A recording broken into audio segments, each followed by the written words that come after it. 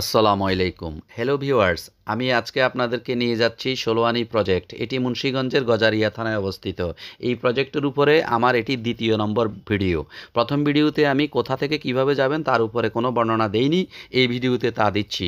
অতি প্রত্যুষে খুব ভোরে আমি ফজরের নামাজ পড়ার পরেই আমি যাত্রাবাড়ির এসে গাড়িতে উঠেছি। আর দেখতে পাচ্ছি রাস্তার পাশে তরকারি মার্কেটে ট্রাকে ট্রাকে সবজি এসে জমা হয়েছে। খুব ভোরে যাচ্ছি বিদায় দেখতে পেলাম। এখন আমি শীতলক্ষা নদীর উপর দিয়ে যাচ্ছি। এই শীতলক্ষা নদীর আর এরপরে আরেকটা নদী হচ্ছে মেঘনা নদী। এই দুইটা নদীর ভিডিও আমি করে রেখেছি যাওয়ার পথে। এই হচ্ছে মেঘনা নদী বন্ধুরা। এইবার যাচ্ছি মেঘনা নদীর উপর দিয়ে। তো যেতে যেতে বলি, আমরা যাচ্ছি এখন যাত্রাবাড়ি থেকে ভবের চর বাস স্ট্যান্ড। যেতে হবে ভবের চর বাস স্ট্যান্ড থেকে, তারপরে রসুলপুর যেতে হবে সেখান থেকে। রসুলপুর থেকে আবার নতুন করে যেতে হবে ষোলোয়ানি। ষোলোয়ানি থেকে আবার একটু পায়ে হেঁটে প্রজেক্টে যেতে হবে। এই হচ্ছে যাওয়ার মূল বর্ণনা। আর খরচটা হচ্ছে বন্ধুরা যাত্রাবাড়ি থেকে গজারিয়া এক্সপ্রেস, গুলিস্তান থেকেও গজারিয়া এক্সপ্রেসে উঠা যাচ্ছে। ওগুলো সত্তর টাকা করে ফিক্সড ভাড়া নিয়ে নিবে। ওটা গজারিয়া পর্যন্ত। আর ভবেশ্বরে সে নামলে একই ভাড়া সত্তর টাকা। আর আপনার যদি ঢাকা চিটংয়ের কোনো গাড়িতে যান, তাহলে বা ঢাকা ঢাকা টু লক্ষ্মীপুর, এরকম লোকাল কোনো গাড়িতে গেলে ও, ওরা ওখান থেকে দর করে উঠতে হয়। একটু দাম চল্লিশ, পঞ্চাশ, ষাট, সত্তর, যার থেকে যা পারে এইভাবে নেয়। আমি মাত্র চল্লিশ টাকা দিয়েই ভবেরচর পৌঁছেছি যাত্রাবাড়ি থেকে। তারপর ভবেরচর থেকে উত্তর দিকে রাস্তা পার হয়ে রসুলপুরের দিকে রাস্তা আছে। ওখানে টেম্পু স্ট্যান্ড মানে সিএনজি অটো সবই থাকে। ওই ওই দিকে আমি গিয়ে ওখানে একটা হোটেল আছে, হোটেলটার নাম হচ্ছে বাংলা হোটেল। ওই হোটেলে আমি সকালের নাস্তা করেছি। হোটেলটিতে ভালো মানের খাবার পাওয়া যায়। এই হচ্ছে বন্ধুরা ভবেরচর বাস স্ট্যান্ড। এইখানে নেমেছি আমি এখন, একটু আগে নেমে রাস্তা পার হয়েছি এই পাশে। এই জন্য আমি এখানে নেমে ভিডিওটা করেছি আপনাদেরকে এই জায়গাটা চিনিয়ে দেওয়ার জন্য। এই, এইখানেই নামবেন, ওই পাশে, রাস্তার ওই পাশে নামবেন। ওইখানে নেমে তারপরে রাস্তা পার হয়ে এদিকে আসবেন। আসলে এখানে অটো এবং সিএনজি আছে। এখানে উঠে বিশ টাকা দিয়ে রসুলপুর যাবেন। রসুলপুর নেমে আবার নতুন করে আরেক, আরেকটু হেঁটে সামনে বিশ টাকা দিয়ে ষোলোয়ানি যাবেন। ষোলোয়ানি থেকে এবার পায়ে হেঁটে প্রজেক্টের দিকে যাবেন। আমি এখানে রসুলপুর এবং ষোলোয়ানি এই দুইটা স্পটের কোনো ছবি ভিডিওতে দেইনি। সরাসরি আমি চলে যাব প্রজেক্টে। এখানে দেখতে পাচ্ছেন যেটা ওই যে পোল পার হলে যে বাংলা রেস্টুরেন্ট এখানে খাবারের মান ভালো আছে, খেতে পারবেন। আর এরপরে আমি প্রজেক্টে গিয়ে বন্ধুরা, আমি ড্রোন নিয়ে যাচ্ছি আজকে। প্রজেক্টে ড্রোনের ছবি নেব। মানে পাখির চোখে এই প্রজেক্টটা কেমন দেখতে চাই? আমি উঠেছি এখানে প্রজেক্টের উপরে এখন। এখানে আমি দুইবার, পরপর দুইবার ড্রোন উড়াবো। তবে বাতাসের ড্রোন কন্ট্রোল করা খুবই কঠিন। আমি এক, পরবর্তীতে অল্প একটু উপরে উঠিয়ে ছবি নেব ইনশাল্লাহ। ড্রোনের দিকে তাকাই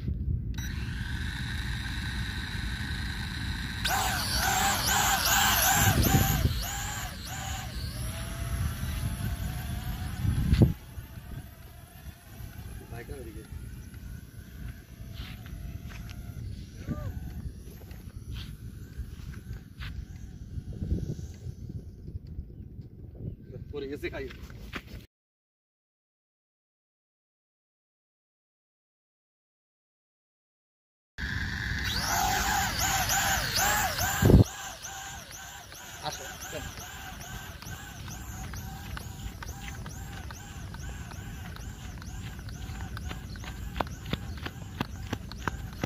কত উঠেছি হুম। এবার নামা দিয়ে। হ হ পানি আছে নামাই দেন।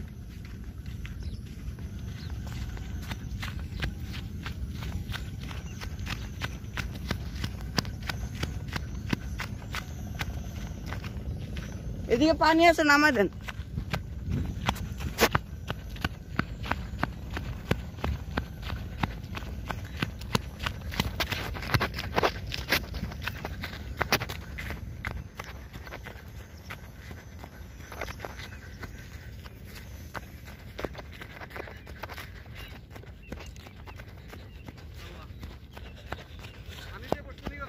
না না।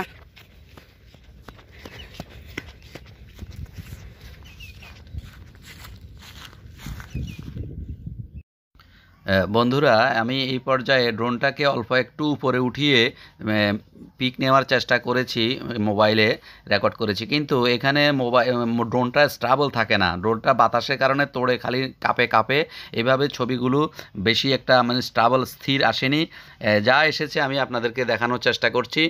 আর ছবি যে কাঁপছে এই জন্য আমি দুঃখিত। কারণ অনেক ড্রোনটাকে আমি স্থিরভাবে সারাক্ষণ ধরে রাখতে পারিনি। যতটুকু সম্ভব দেখাচ্ছি, আপনারা দেখুন। তবে বেশি উপরের থেকে দেখাচ্ছি না। অল্প একটু উপরে ড্রোন উঠিয়েছি।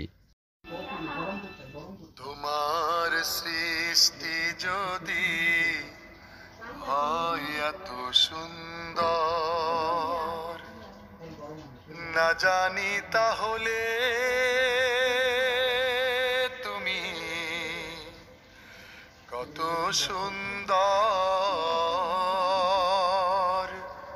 কত সুন্দর।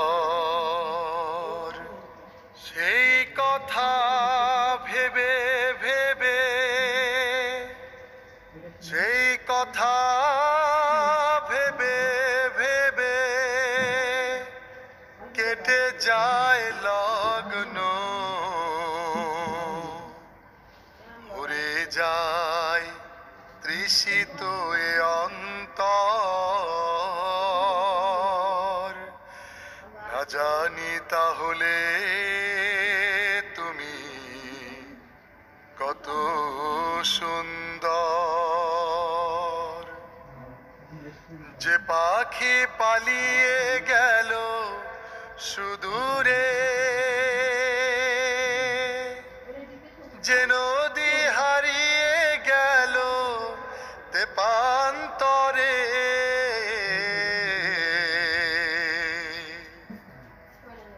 যে পাখি পালিয়ে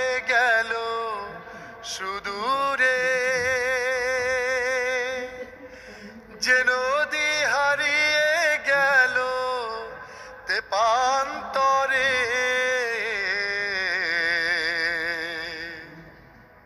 সেই পাখি সেই নদী যদি এত সুন্দর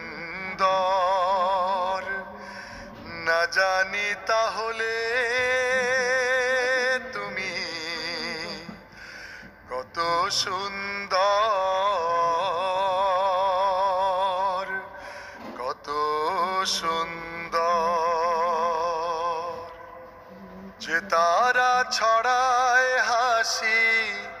আকাশে যে ফুল সুরভি ঢালে বাতাসে।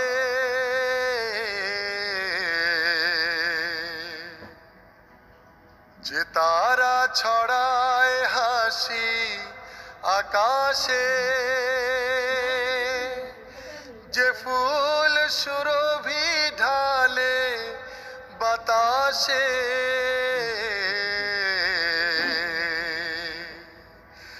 সেই তারা, সেই ফুল যদি এত সুন্দর। না জানি তাহলে তুমি কত সুন্দর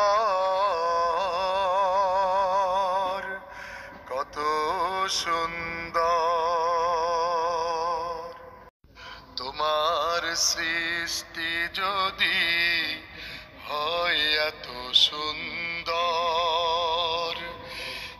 জানি তাহলে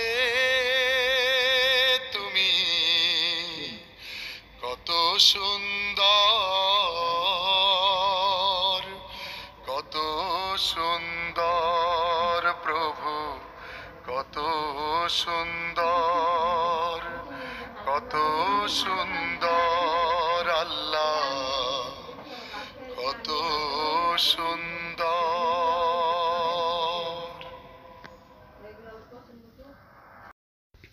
হ্যাঁ বন্ধুরা, এই হচ্ছে আজকের এই ড্রোনের চোখে এই প্রজেক্টকে আমি দেখালাম।